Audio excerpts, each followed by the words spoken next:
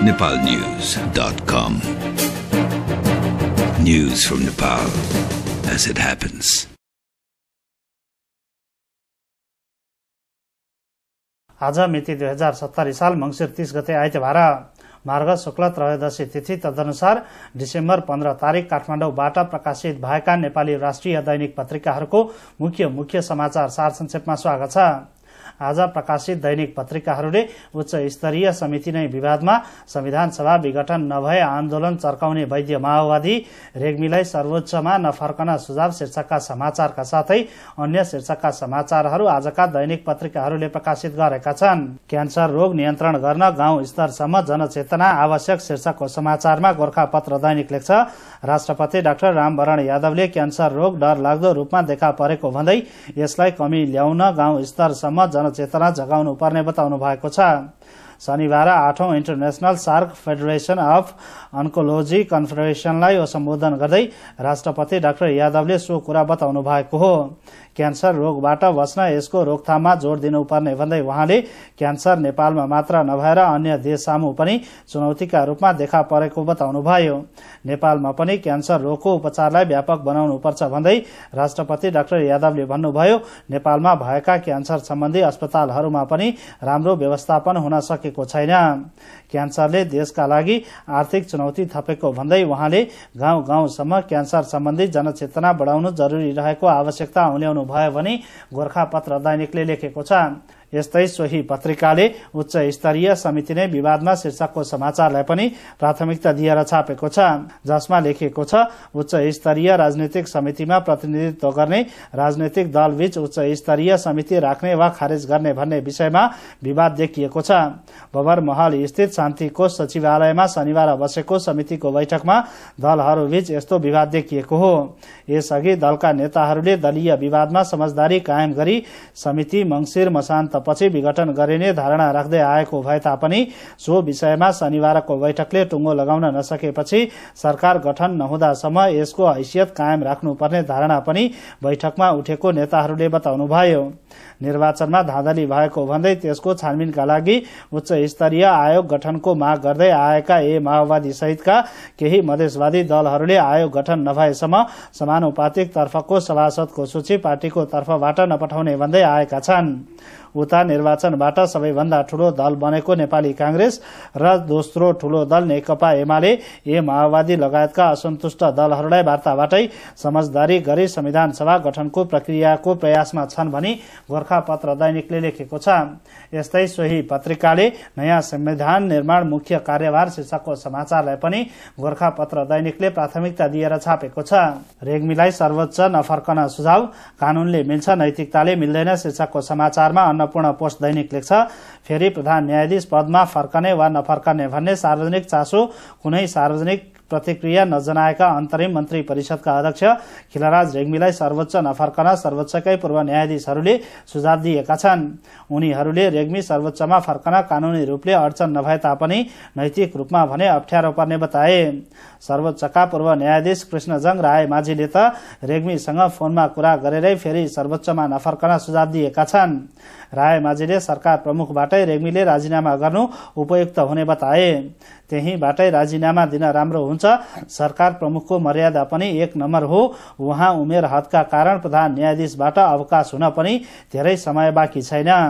राय माझीले अन्नपूर्ण पोस्टसँग भने प्रधान न्यायाधीश छाड्न राम्रो हुन्छ भनेर मैले चार पाँच दिन अघि भएको टेलिफोन कुराकानीमा पनि भनेको छु। उहाँको आफ्नो विचार हो भनी अन्नपूर्ण पोस्ट दैनिकले लेखेको छ।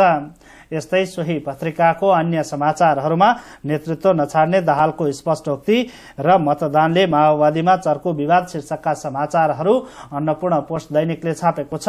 छानबिन आयोगमै अड्कियो कुरो।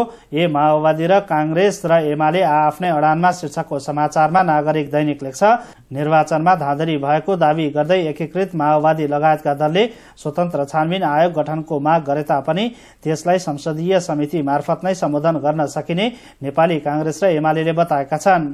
शान्ति कोषको कार्यालयमा शनिबार भएको बैठकमा ए माओवादी स्वतन्त्र छानबिन आयोग गठन र कांग्रेस र एमाले संसदीय समिति मार्फत सम्बोधनको अडानमा रहे। बैठकमा कुनै सहमति नभएपछि दलहरूबीच आइतबार फेरि बैठक गरी समाधान खोज्ने सहमति भएको छ।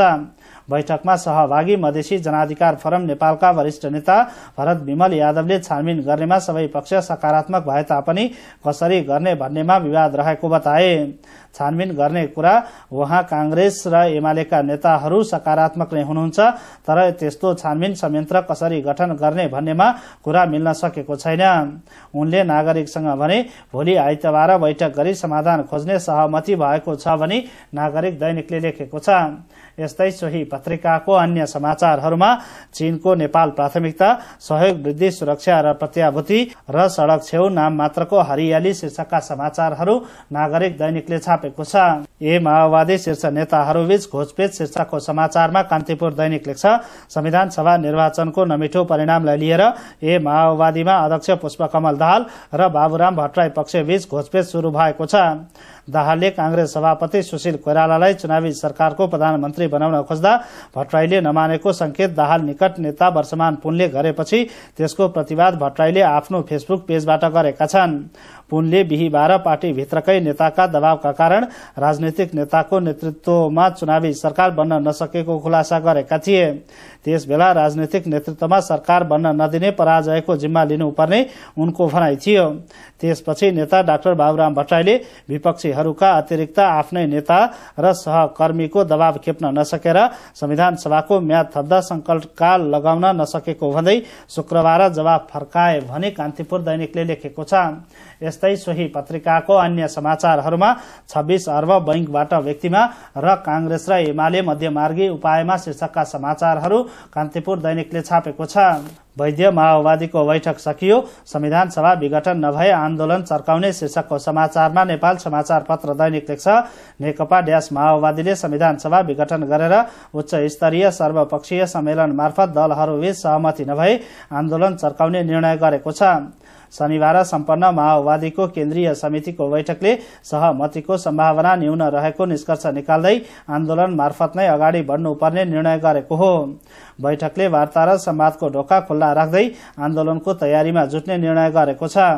बैठकमा अध्यक्ष मोहन वैद्यले पेश गरेको जनयुद्धको जगमा जनविद्रोहको कार्यदिशा र संविधान सभा विघटन गरी उच्च स्तरीय सर्वपक्षीय सम्मेलनबाट संविधान तत्कालीन कार्यनीति सहितको प्रतिवेदन सर्वसम्मत रूपमा पारित भएको छ। प्रतिवेदनमाथि उठेको प्रश्नको जवाब दिँदै अध्यक्ष वैद्यले क्रान्तिका लागि आफू बरु मर्न तयार रहेको तर दक्षिणपन्थी र संशोधनवादी हुन नसक्ने बताउनु भएको थियो भने नेपाल समाचार पत्र दैनिकले लेखेको छ।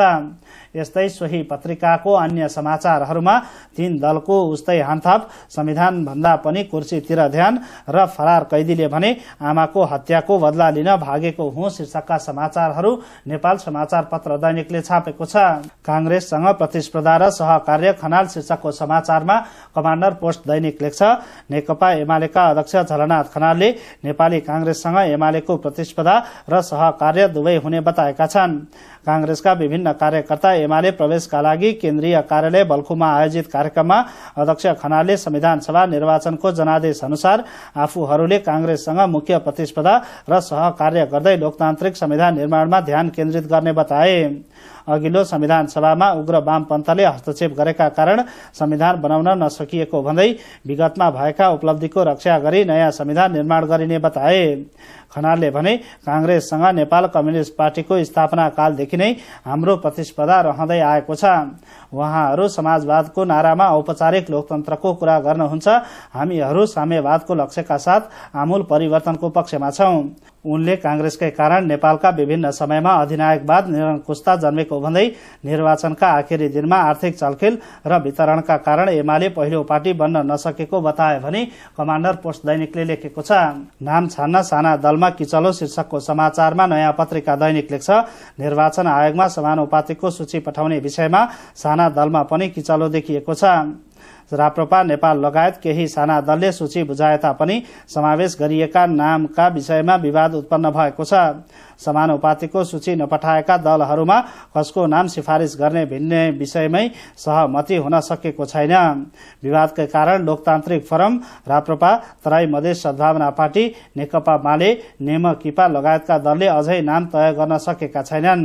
लोकतान्त्रिक फोरमले अध्यक्ष विजय गच्छदारलाई नै नाम तय गर्ने अधिकार दिएको छ। तर निर्वाचन आयोगले तोकेको समय सीमा तीन पुस अघि बुझाउँदा विरोध हुने डरले गच्छदारले अन्तिममा मात्र नाम बुझाउने पार्टी स्रोतले जनाएको छ।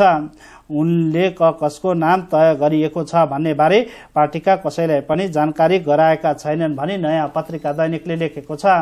यस्तै सोही पत्रिकाको अन्य समाचारहरूमा नेकपा ड्यास माओवादी केन्द्रीय समितिको बैठक अब सड़क संघर्ष छानबिनको बाटो खोजिँदै र नयाँ सरकार नबनेसम्म राजनीतिक समिति सक्रिय शीर्षकका समाचारहरू नयाँ पत्रिका दैनिकले छापेको छ।